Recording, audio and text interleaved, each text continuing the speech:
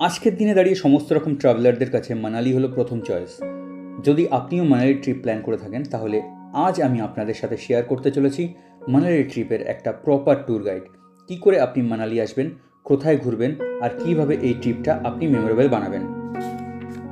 আজকের টাইমে মানালি ইন্ডিয়ার সবথেকে ফেমাস হিল স্টেশনের মধ্যে একটা। হিমাচল প্রদেশের নর্দার্ন মোস্ট এরিয়াতে ছ হাজার সাতশো ফিটের অল্টিচিউডে মানালি, ওক, দেওদার ও পাইন ফরেস্ট স্নো কেপ মাউন্টের অ্যাডভেঞ্চার অ্যাক্টিভিটি আর অ্যামেজিং ল্যান্ডস্কেপের জন্য ফেমাস তাহলে বন্ধুরা, ভিডিওটা শুরু করার আগে চ্যানেলটা অবশ্যই সাবস্ক্রাইব করে নেবেন আর বেল নোটিফিকেশনটাও অন করে নেবেন। তাহলে চলুন বন্ধুরা, ভিডিওটা শুরু করি। প্রথমে আসি কীভাবে আপনি মানালি আসবেন। মানালির নিজস্ব কোনো এয়ারপোর্ট বা রেল স্টেশন নেই। তাই এখানে পৌঁছানোর বেস্ট উপায় হলো বাই রোড দিল্লি চণ্ডীগড় ধর্মশালা আর সিমলা থেকে মানালির জন্য রেগুলার ভল্পো ছাড়ে আর স্টেট ট্রান্সপোর্ট বাসও ছাড়ে। যেগুলো আপনাকে আটশো থেকে দেড় হাজার টাকার মধ্যে মানালি পৌঁছে দেবে। দিল্লি টু মানালি বারো ঘণ্টা চণ্ডীগড় টু মানালি আট ঘণ্টার জার্নি। আর আপনি যদি চান পার্সোনাল ভেহিকেল বা কোনো ক্যাব হায়ার করেও আসতে পারেন। আর এই রাস্তায় আপনি দারুণ ভিউও উপভোগ করতে পারবেন। যদি আপনি নর্থ ইন্ডিয়া ছাড়া অন্য কোথাও থেকে মানালি ভিজিট করছেন, তাহলে বনতাল এয়ারপোর্ট পর্যন্ত ফ্লাইটও নিতে পারেন। এয়ারপোর্ট থেকে ক্যাব নিয়ে এক থেকে দেড় ঘন্টায় মানালি পৌঁছে যাবেন। মানালি পৌঁছেই আপনার কিছুক্ষণ রেস্ট করে নেওয়া উচিত। মানালিতে আপনি লাক্সারি আর বাজেট দু রকমই হোটেল পেয়ে যাবেন। আমি রেকমেন্ড করব আপনার হোটেল বা হোমস্টে ওল্ড মানালিতেই বুক করুন। মানালিতে দুটি পার্টে ভাগ করা আছে নিউ মানালি আর ওল্ড মানালি। নিউ মানালিতে ম্যাল রোড শপিং সেন্টার আর ট্যুরিস্টদের ক্রাউড দেখতে পারবেন। অন্যদিকে ওল্ড মানালিতে ন্যাচারাল বিউটি আর লেস ক্রাউড দেখতে পারবেন। এই কারণে আপনার স্টের জন্য ওল্ড মানালি বেস্ট প্লেস মানালিকে ঠিকঠাক এক্সপ্লোর করবার জন্য আপনি বাইক কারও রেন্টে নিতে পারেন। বাইক আপনি আটশো থেকে দু হাজার টাকা আর গাড়ি দেড় হাজার থেকে তিন হাজার টাকা পার ডে হিসেবে ভাড়া পেয়ে যাবেন।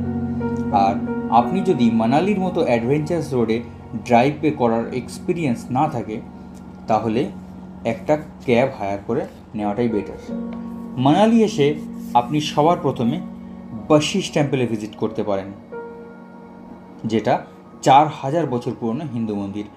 এই মন্দির রামায়ণ রামায়ণকালে ঋষি বশিষ্ঠকে সমর্পণ করা হয়েছে, যিনি ভগবান রাম ও লক্ষণের গুরুও ছিলেন। এই মন্দিরের পাশে একটা উষ্ণ প্রস্রবণও আছে, যেখানে পুরো বছর গরম জল পাওয়া যায়। বলা হয় যে এই জলে অনেক মেডিসিনাল প্রপার্টি আছে, যার ফলে আমাদের স্কিনের অনেক রকম রোগ কিওর হয়। এখানে স্নানের জন্য পুরুষ ও মহিলাদের জন্য আলাদা আলাদা ব্যবস্থা করা আছে। এখানে এসে আপনাকে একবারের জন্য হলেও ডুব দেওয়া অবশ্যই জরুরি। বশিষ্ঠ মন্দির ভিজিট করার পরে তিন কিলোমিটার দূরে অবস্থিত একটা ফলস আছে, যার নাম হচ্ছে যোগিনী ফলস। এটা খুবই সুন্দর একটা ওয়াটার ফলস। আর এই ট্রেক এটাকে আরও সুন্দর করে তুলে ধরে, যেখানে পাইন ফরেস্ট আর অ্যাপেল গার্ডেনের ভেতর দিয়ে যেতে হয়। যদি আপনি নেচার আর অ্যাডভেঞ্চার লাভার হন, তাহলে এই ট্রেককে আপনি খুব এনজয় করবেন। এই ট্রেকটা কমপ্লিট করতে আপনার প্রায় তিন ঘণ্টা সময় লাগবে। আর যাওয়ার পথে অনেক রেস্টুরেন্টও পেয়ে যাবেন, যেখানে আপনারা শর্ট ব্রেকও নিতে পারবেন। যোগিনী ফলস একশো ষাট মিটার উঁচু ওয়াটার ফলস আপনি চাইলে এর টপ পর্যন্ত ট্রেক করতে পারেন, যেখান থেকে মানালির ভ্যালি খুব সুন্দর ভিউ উপভোগ করতে পারবেন। মানালি এসে এখানকার সবচেয়ে সিনিক আর সবচেয়ে ফেমাস রোটাং পাস না এলে ঘোরা অসম্পূর্ণ থেকে যাবে। তেরো হাজার ফিট উঁচু রোটাং পাস হিমালয়ের সব থেকে উঁচু পাসগুলোর মধ্যে একটা। এখান থেকে হিমালয় পীরপঞ্জল রেঞ্জের দারুণ ভিউ উপভোগ করা যায়। রোটাং পাস মানালি থেকে মাত্র পঞ্চাশ কিলোমিটার দূর, কিন্তু এখানকার স্নো ক্যাব মাউন্টেন আর ন্যাচারাল ভিউয়ের বিউটি ওয়ার্ডসে বর্ণনা করা একেবারে অসম্ভব। রোটাং পাস এতটাই উঁচুতে অবস্থিত যে এখানে সামারেও বরফ পাওয়া যায়, যা এখানকার ল্যান্ডস্কেপকে আরও মোহমী করে তোলে। রোটাং পাসে উইন্টারে এতটাই স্নোফল হয় যে নভেম্বর থেকে মার্চ পর্যন্ত এটা বন্ধ করে দেওয়া হয়। আর আপনি মে থেকে অক্টোবর পর্যন্ত এখানে ভিজিট করতে পারবেন। রোটাং পাসে পৌঁছে এখানকার প্যানোরামিক ভিউ এনজয় করার সাথে সাথে mountain biking snow scooter sledge riding স্কিংয়ের মতো অ্যাডভেঞ্চারাস অ্যাক্টিভিটিগুলোও সম্পূর্ণ উপভোগ করতে পারবেন। কিন্তু রোটাং পাসে আসার আগে আপনাকে মাথায় রাখতে হবে যে এখানে আসতে একটা প্রপার পারমিট প্রয়োজন। রোটাং পাস একটা খুব সেন্সিটিভ জায়গা আর এখানকার ন্যাচারাল বিউটিকে অক্ষুণ্ণ রাখার জন্য হিমাচল প্রদেশ গভর্নমেন্ট এখানে গাড়ির যাতায়াতে লিমিটেশন রেখেছে। রোটাং পাসে দু রকম পারমিট আছে। একটা যেটা মানালি থেকে রোটাং পাস যাওয়ার জন্য নিতে হয়, আর একটা রোটাং থেকে লাদাখ বা স্পিতি ভ্যালি যাওয়ার জন্য করাতে হয়।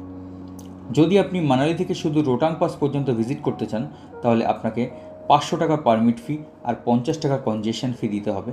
আর তার আগে অর্থাৎ লাদাখ বা স্মৃতি থেকে যদি আগে যেতে চান, তাহলে পঞ্চাশ টাকার কনজেশন ফি আবার পে করতে হবে। পারমিট আপনাকে কুল্লু ওয়েবসাইট থেকেই কমপক্ষে দুদিন আগে করাতে হবে। রোটাং পাসে একদিনে মাত্র বারোশো গাড়ি চলাচলই অ্যালাউ করা হয়। তো আগে ভাগেই পারমিটটা করে নেওয়াই সুবিধাজনক। আগে লাদাখ যাওয়ার জন্য কোনো রেস্ট্রিকশন নেই। তার পারমিট ইজিলি পেয়ে যাবেন। রোটাং পাস হয়ে মানালি থেকে লাদাখের জার্নি পুরোটাই সিনিক বিউটিতে ভরা। আর লাদাখ ট্রিপের যদি একটা সেপারেট ভিডিও চান, তাহলে অবশ্যই আমাকে কমেন্ট সেকশনে জানান। রোটাং পাস টুইসডে বন্ধ থাকে মেনটেন্সের জন্য। সো এই দিন আপনি অ্যাক্টিভিটিসের জন্য কোনো প্ল্যান করবেন না। এই পারমিট আপনার মানালি থেকে রোটাং পাস যাওয়ার জন্য দরকার পড়ে। যদি আপনি লাদাখ বা স্পিতি থেকে রোটাং পাস হয়ে মানালি আসেন, তাহলে আপনাকে এইরকম কোনো পারমিটের প্রয়োজন হয় না আর ইজিলি এখানে আসতে পারবেন।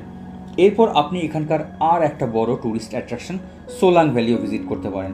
সোলাং ভ্যালি মানালি থেকে অনলি চোদ্দ কিলোমিটার দূর, খুব একটা সুন্দর ভ্যালি যেটা মানালি থেকে রোটাং পাস যাওয়ার রাস্তাতেই পড়বে।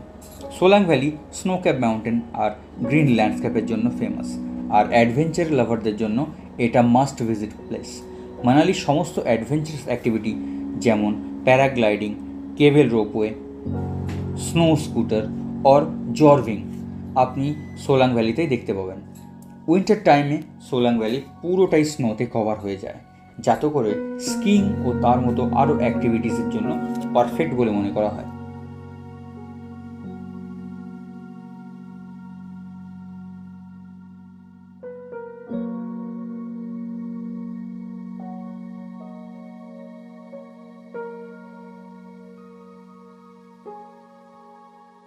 আমাদের লিস্টে এর পরেই নাম আছে হিড়িম্পা দেবী টেম্পলের এই মন্দির মানালির খুব ফেমাস একটি টেম্পল যেটা মহাভারতকালে পাণ্ডব ভীমের স্ত্রীকে সমর্পণ করা হয়েছে। পনেরোশো তিপ্পান্নতে তৈরি এই মন্দির ওল্ড মানালি থেকে মাত্র তিন কিলোমিটার দূরে দেওদার ফরেস্টের মধ্যে অবস্থিত। এই মন্দির তার ইউনিক আর্কিটেকচারের জন্যও ফেমাস প্যাগোডা স্টাইল আর্কিটেকচারের এই মন্দির মেইনলি পাথর আর কাঠ দিয়ে তৈরি, যেটা উডেন গেটস আর কোন শেপ স্ট্রাকচারের জন্য ফেমাস এই ধরনের আর্কিটেকচার অনেক কম হিন্দু মন্দিরেই দেখা যায়। হিড়িম্বে দেবী টেম্পল ভিজিট করার পর কিছু দূরে অবস্থিত জানা ভিলেজে জানা ওয়াটারফলসও ভিজিট করতে যেতে পারেন, যেটা তিরিশ ফুট হাইট থেকে বয়ে আসা খুব সিনিক একটা ওয়াটারফল এই ফলসে যেতে হলে আপনাকে পাইন আর দেওদার ডেন্স ফরেস্টের মধ্য দিয়ে ট্রেক করে যেতে হবে। এই ট্রেকটা আপনি সত্যিই খুব এনজয় করবেন। ট্রেকের ব্যাপারে যদি বলি, মানালিতে আপনি ট্রেক করার অনেক অপশন পেয়ে যাবেন। মানালি থেকে Hampta Pass trek বিস্কুন trek Bhrigu lake trek Deo Tibba trek সারপচ trek চারারপানি ট্রেক আর ঋষি সুমি ট্রেকের মজাও নিতে পারেন। মানালিতে এসে ট্যুরিস্ট স্পটের সাথে সাথে আপনার এখানকার ট্রেকিং রুটগুলো এক্সপিরিয়েন্স করা উচিত। কারণ মানালি ট্রেক পুরো হিমাচলের সব থেকে সেনিক ট্রেকগুলোর মধ্যে অন্যতম। এছাড়া মানালিতে এসে আরও অনেক প্লেসেস যেমন Manu temple Sethan valley Arjun Gufa Manikaran Sahib Gurudwara ক্যাজল Beas river view point great Himalayan national পার্কের মতো আরও বিভিন্ন জায়গা ভিজিট করতে পারেন। মানালির ব্যাপারে আরও একটা জিনিস মাথায় রাখতে হবে, বাস ছাড়া যদি আর অন্য কোনো গাড়িতে যদি মানালিতে প্রবেশ করেন, তাহলে তার জন্য আলাদা পারমিট করতে হবে, যেটা বাইকের জন্য একশো, পার্সোনাল কারের জন্য দুশো আর প্যাসেঞ্জার ভেহিকেলের জন্য তিনশো টাকা। পারমিট আপনাকে কুলুর ডিস্ট্রিক্ট অফিসিয়াল ওয়েবসাইটেই করাতে হবে। মানালি আসতে হলে আপনি মার্চ, জুন, সেপ্টেম্বর, অক্টোবরে প্ল্যান করুন। পুরো সিনিক বিউটি উপভোগ করতে। আর যদি আপনি স্নো লাভার হন আর স্কিংয়ের মতো অ্যাক্টিভিটি উপভোগ করতে চান, তাহলে উইন্টার সিজনেও আসতে পারেন। তাহলে ফ্রেন্ডস এটাই হলো আজকের ভিডিও ভিডিওটা যদি ভালো লাগে, তবে অবশ্যই লাইক করবেন সাবস্ক্রাইব করবেন, আর বন্ধুদের সাথে অবশ্যই শেয়ার করবেন। দেখা হচ্ছে নেক্সট ভিডিওতে ততক্ষণের জন্য tata good bye take care